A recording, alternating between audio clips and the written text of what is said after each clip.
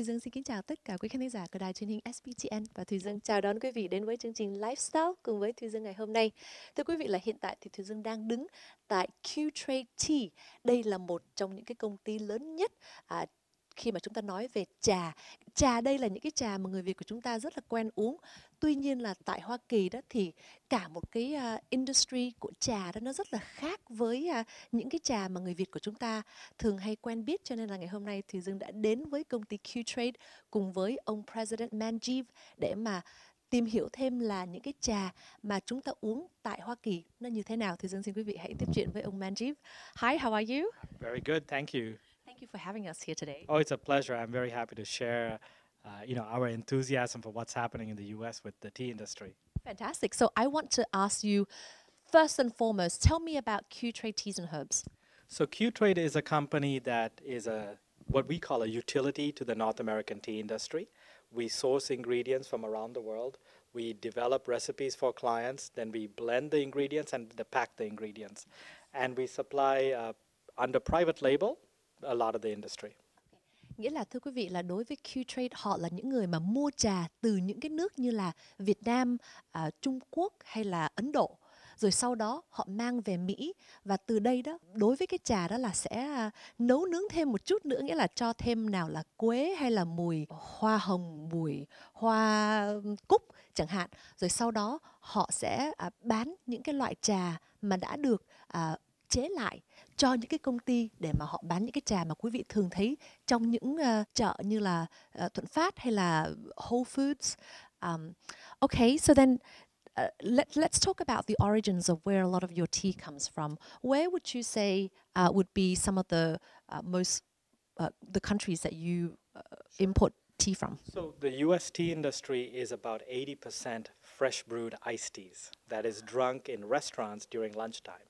And for that reason, in fact, I'm not sure, I'll show you on the map, Argentina is one of the largest suppliers to the US market. And in, yes, I, it's a surprise to a lot of people, actually. But it is a, a great supplier for fresh brewed iced teas, as well as Vietnam, Indonesia, China, of course, is like the motherland of a lot of the very, very fancy teas. So is Japan. But India and parts of Africa as well. So Kenya, Malawi, Tanzania, South Africa, great suppliers of specialty teas. Fantastic. Because the US industry is about 80% focused on fresh brewed iced teas, Argentina, in fact, is one of the largest suppliers. And this is the region close to the Brazilian border, is where most of the tea is grown that is exported to the US. And working my way sort of to the right of the map, Kenya, Tanzania, Malawi, and South Africa also very big suppliers to the US market, uh, and again going into the iced tea industry. And to the right, India, of course, is one of the largest suppliers, but they consume most of their tea themselves, so it's not a big exporter. Sri Lanka is a smaller supplier, but they are focused on the Middle East and Europe, so not so much for the US. Vietnam, over the last, I would say, 10, 15 years, has become a very, very important supplier of black teas to the US market. And China, of course, supplies most of the American green teas. So, thưa quý vị là đối với người mà sống tại Hoa Kỳ đó thì họ thích uống trà đá và à, trà đá đó thì thật sự ra là Argentina là cái nước mà người ta mua trà để mà làm trà đá.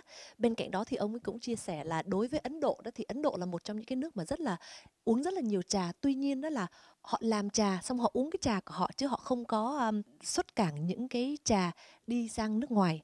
Và nếu mà họ có xuất cảng thì họ thường thường là xuất cảng đến uh, Middle East. Bên cạnh uh, bên cạnh Trung Quốc thì tất nhiên là Việt Nam trong khoảng độ 10 tới 15 năm sau này thì là một trong những à, nước mà xuất cảng rất là nhiều trà à, đến những cái nước à, ở bên ngoài như là ở bên Mỹ thì trà đen của Việt Nam là một trong những cái trà mà nổi tiếng theo ông Manjeev.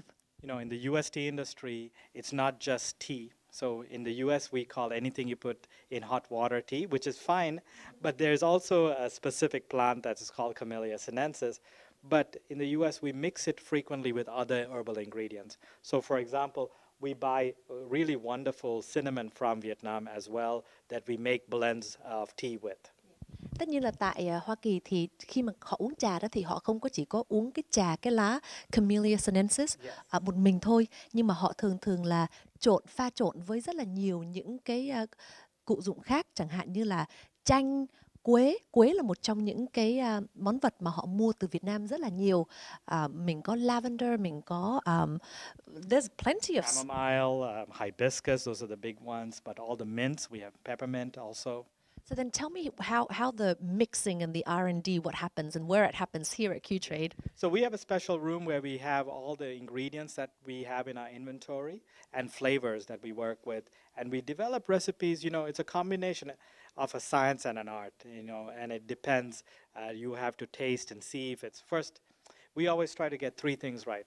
It has to look good because you first see the product, and then you have to smell the product, and then you taste the product, and ideally all three of those senses synchronize you know? So if you smell something that looks like should smell like barbecue you should taste something like barbecue too. yeah. So can we see the room?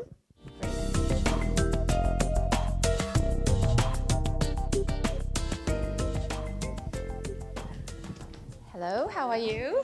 this is clarissa. Uh, she is a resident food scientist and member of our r&d team. And she will explain to you some of the work that we do here Fantastic. So đây là cô Clarissa và cô là người ờ, giống như là khoa học gia nhưng mà chuyên về đồ ăn với cả tất cả những cái ờ, cụ dụng trong đồ ăn của chúng ta thì ngày hôm nay cô sẽ chia sẻ với chúng ta là đối với trà đó khi mà chúng ta làm những cái mùi mới đó thì nó phải cần họ phải cần làm những cái gì. Hi Clarissa, thank you for your time. Thank you, thank you. So tell us what you're doing here right now. So first, welcome to the R&D lab. It's where the magic happens, really. So just some things we have here on the table. This is where we do all of our blending for from the gold standard before we actually put it into production for our customers. This is where we give certain samples, such as this one that contains lemongrass, coconut, for more of a nutty profile, if that's what the customer was looking for. Um, and then we incorporate all these ingredients that we carry from Camellia sinensis tea to all the herbs, spices. We even have unique ingredients for the dessert lines like marshmallow pieces or cotton candy pieces here.